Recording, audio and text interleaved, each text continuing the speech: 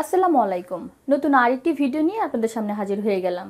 আজ তৈরি করে দেখাবো খুবই অল্প সময় জিলাপির রেসিপি যেটাকে বলা হয় ইনস্ট্যান্ট জিলাপি। জিলাপিটা খেতে অনেক মজা লাগে, বোঝাই যায় না এটা যে ইনস্ট্যান্ট তৈরি করা। তাহলে আমি শুরু করে দিচ্ছি। এখানে যে মেজারমেন্টটা নিব, তা হচ্ছে খুবই অল্প পরিমাণে, যাতে করে আপনারা সবাই ঘরে তৈরি করতে পারেন, আর এই হিসাব করে আপনারা বাড়িও নিতে পারবেন। আমি ওয়ান ফোর্থ কাপের একটা কাপ নিয়ে নিলাম, এটা দিয়ে মেজারমেন্টটা করব। এখানে আমার চালের গুঁড়ো আছে, নিয়ে নেব ওয়ান ফোর্থ কাপ পরিমাণ চালের গুঁড়ো। এটা আতপ চালের গুঁড়ো। ওয়ান ফোর্থ কাপ পরিমাণ ময়দা। ওয়ান ফোর্থ কাপ পরিমাণ বেসন। এটা বুটের ডালের বেসন। ইচ্ছে করলে আপনার এখানে মাসকলের বেসনটা দিতে পারেন। তবে সচরাচর তো মাসকলের বেসনটা পাওয়া যায় না, বুটের ডালের বেসন দিয়েও করা যায়। এখানে আমি ময়দা, চালের গুঁড়ো এবং বেসন দিয়ে করছি। যদি আপনাদের ঘরে বেসনটা না থাকে, তাহলে শুধু ময়দা দিয়েও করে নিতে পারেন। তাহলে আপনারা এক কাপ পরিমাণ নিয়ে নেবেন আর সাথে দু থেকে তিন টেবিল চামচ কর্নফ্লাওয়ার দিয়ে দিবেন চালের গুঁড়োর বদলে। আমি যদি এখানে চালের গুঁড়োটা না দিতাম, তাহলে কর্নফ্লাওয়ার দিয়ে দিতাম। এক চিমটি পরিমাণ লবণ দিয়ে দিব। হাফ চা চামচ পরিমাণ বেকিং পাউডার দিয়ে দিব। বেকিং পাউডার বদলে বেকিং সোডাও দেওয়া যায় তাহলে একটু কম করে দিয়ে দিবেন। এগুলোকে এখন আমি চেলে নিব। সবগুলো উপকরণ আমি ভালো করে চেলে নিয়েছি আর বাড়তিগুলো যেটা আছে সেটা আমি ফেলে দিব। সবগুলো উপকরণ আমি বাটিতে নিয়ে নিয়েছি। এখন দিয়ে দিতে হবে এক টেবিল চামচ পরিমাণ তেল। এটার বদল আপনারা যারা ঘি খেতে চান তারা ঘি দিতে পারবেন। আমি হাফ কাপ পরিমাণ পানি নিয়ে নিলাম। এখন যতটুক লাগে ততটুক দিতে হবে। এর ব্যাটারটা অনেক ঘন হবে, পাতলা হবে না। তাই সাবধানে পানি দিতে হবে। যদি বেটাটা পাতলা হয়ে যায়, তাহলে আমরা একটু ময়দা দিয়ে দিব। আমি হাফ কাপ পরিমাণ পানি দেওয়ার পরে ঘনত্বটা ঠিক এরকম হয়েছে, আমাদের আর একটু পাতলা দরকার। তাই আমি আর একটু পরিমাণে পানি নিয়ে নিয়েছি। এখন দিয়ে দিব দু টেবিল চামচ পরিমাণ পানি।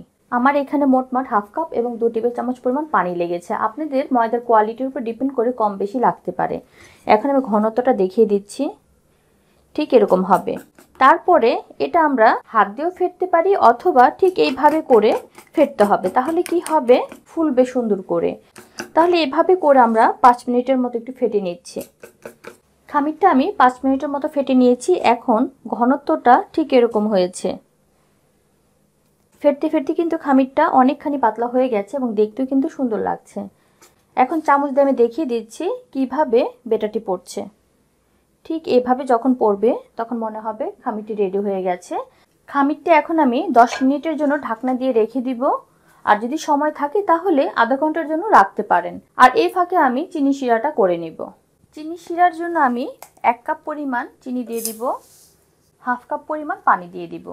পানির পরিমাপটা আপনারা আরেকটু যদি বেশি দেন, তাহলে জাল করে নিয়ে কমাতে হবে। সেই জন্য আমরা প্রথমেই কম করে দিয়ে দিব। সাথে দিয়ে দিব চারটি এলাচ, এটা ফ্লেভার আনবে। আর যদি ভালো না লাগে, না দিলেও চলবে। আর ইচ্ছে করলে এখানে আপনারা গোলাপ জল, কেওড়া জলও দিতে পারেন, যদি ভালো লাগে। এছাড়া জাফরানও দিতে পারেন। আমি বেটারে কোনো প্রকার কালার ব্যবহার করিনি, আমি শিরাতে দিব বলে। খুবই সামান্য পরিমাণে, ধরতে গেলে এক চিমটি পরিমাণ হবে, দিয়ে দিব। দিয়ে নেড়ে চেড়ে দিতে হবে। এখন আমি চুলায় চলে যাচ্ছি শিরাটা করার জন্য। চুলাটা ধরিয়ে শিরাটাতে আমি বসিয়ে দিয়েছি, চিনিটাও গলে গেছে। এখন অনবরত নাড়ার উপরে রেখে একতারের মতো আমাদের শিরা করতে হবে। অতিরিক্ত বেশি ঘনও না, আবার পাতলাও না। আমরা যদি শিরাটা পাতলা করি, তাহলে জিলাপিটা একটু পরে নেতিয়ে যাবে। তাই শিরাটা একতারের মতো হতে হবে। আবার অতিরিক্ত বেশি যদি ঘন করে ফেলি, তবুও কিন্তু শিরাটা ঢুকবে না। সেটাও খেয়াল রাখতে হবে। আমি এখানে জর্দা কালার দিয়েছি। আপনাদের ইচ্ছে হলে ইয়েলোটাও দিতে পারেন। শিরাটা আমার রেডি হয়ে গেছে। একটা চামচের মধ্যে একটু শিরা নিয়ে একটু ঠান্ডা করে তারপরে চেক করতে হবে। যখন দেখা যাবে হালকা একটা তার দেখা যাচ্ছে, তখনই বুঝতে হবে শিরাটা হয়ে গেছে।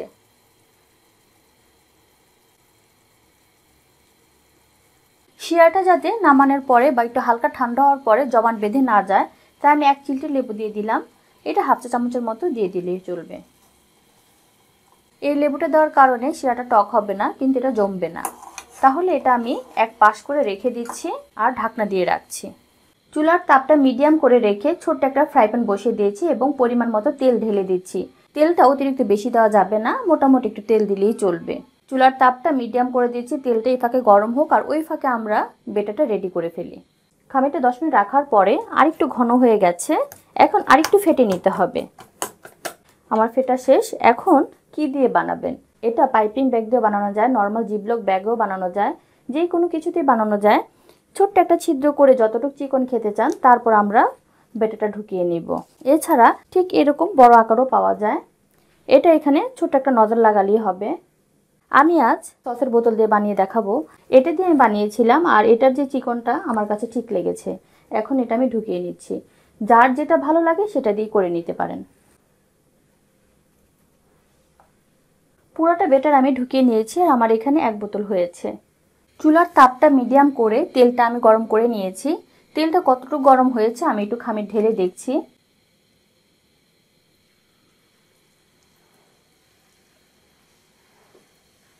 খামিরটা দেওয়ার সঙ্গে সঙ্গে যদি তাৎক্ষণিক ভেসে ওঠে, তাহলে বোঝা যাবে তেলটা ঠিক মতো গরম হয়েছে। খামিরের ঘনত্বটা বুঝবেন কীভাবে বা ঠিকঠাক মতো হয়েছে, যখন আপনারা বোতলটা উল্টিয়ে দিবেন, তখন কিন্তু নিজে নিজে পড়বে না। এটা প্রেস করতে হবে, তারপরে কিন্তু পড়বে। এখন আমি দিয়ে দিচ্ছি।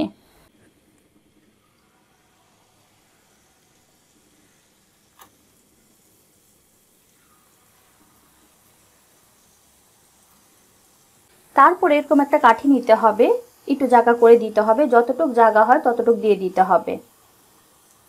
আমি যেহেতু রেগুলার বানাই না, তাই আমারটা অতটা সুন্দর নাও হতে পারে।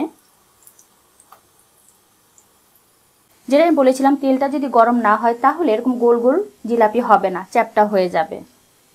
এখন আমরা উল্টিয়ে দিব। আর জিলাপি হতে বেশি সময় লাগে না। আমি যদি এখানে বেশি করে জিলাপিটা বানাই, তাহলে একসাথে করে কিন্তু আমি শিরাতে দিতে পারব না। সে অনুযায়ী আমি ছোট একটা ফ্রাই প্যান নিয়েছি, সে অনুযায়ী যে শিরাটা করেছি, সেটাও কিন্তু হাঁড়িটা ছোট, যাতে করে একসাথে আমি দিয়ে দিতে পারি। জিলাপিটা আমার ভাজা হয়ে গেছে, কালারটাও এসে পড়েছে। এভাবে বাড়ি দিলেও বোঝা যাবে হয়েছে কিনা। আর এটাতে আমি এই জন্যই কালারটা দিইনি। কালারটা দিলে ভাজাটা হয়েছে কি হয়নি অনেক সময় বোঝা যায় না। এখন আমি নামিয়ে নিচ্ছি। তেলটা যতটুকু সম্ভব ঝরিয়ে গরম গরম শিরার মধ্যে দিয়ে দিতে হবে এবং তিন থেকে চার সেকেন্ডের মধ্যে এটা হয়ে যাবে, উল্টিয়ে পাল্টিয়ে দিতে হবে। তা না হলে শিরাটা ঢুকবে না। এটা শিরাটা ঢুকুক এ ফাঁকে আমি কয়েকটা দিয়ে দিচ্ছি, তারপর আমি এটা উঠিয়ে নিব। জিলাপিটা কয়েকবার বানালেই হাত এসে পড়ে।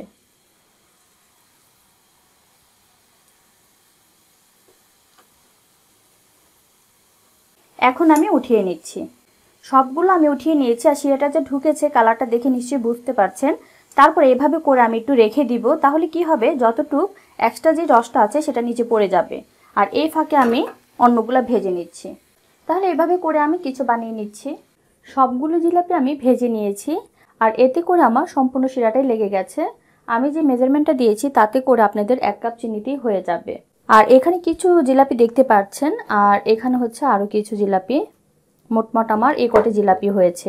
যারা রোজার মাসে রেগুলার জিলাপিটা খেতে পছন্দ করেন, তারা ইফতারের আগে অল্প অল্প করে বানিয়ে নিলেই চলবে। খুবই সহজভাবে অল্প সময়ে আপনারা তৈরি করে নিতে পারেন। এখন আমি একটা ভেঙে দেখাচ্ছি। দেখতেই পাচ্ছেন, ভিতরে কিন্তু শিরাটা ঢুকে আছে। আর কতটা মচমচে হয়েছে। তার মানে সুন্দরভাবে জিলাপিটা হয়েছে। আর যতটুকু সম্ভব আমি পেঁচানোর চেষ্টা করেছি, রেগুলার যারা বানায় তাদের কিন্তু আরও সুন্দর হয়। তাহলে দর্শক, এই ছিল আজকে আমার খুবই সহজভাবে জিলাপির রেসিপি রেসিপিটি ভালো লাগলে এভাবে করে বাসা ট্রাই করতে পারেন। ভালো লাগলে অবশ্যই একটা লাইক দিবেন শেয়ার করবেন এবং আমার চ্যানেলকে সাবস্ক্রাইব করবেন। সবাই ভালো থাকবেন, আল্লাহ হাফিজ।